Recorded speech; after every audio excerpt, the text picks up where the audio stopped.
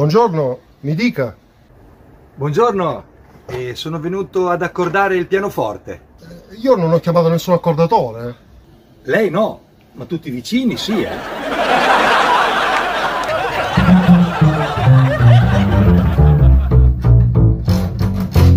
Siamo qui con la ghiacciata del venerdì.